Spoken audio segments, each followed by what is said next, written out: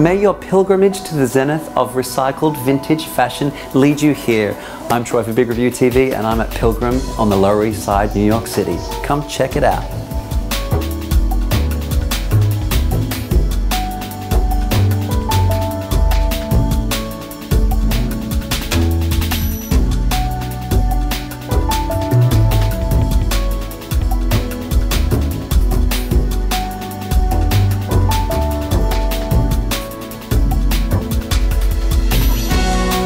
Pilgrim originally opened in upstate New York in Woodstock and then moved here to New York and opened its doors in 2009. You know you're doing something right when your first press release is a write up from American Vogue.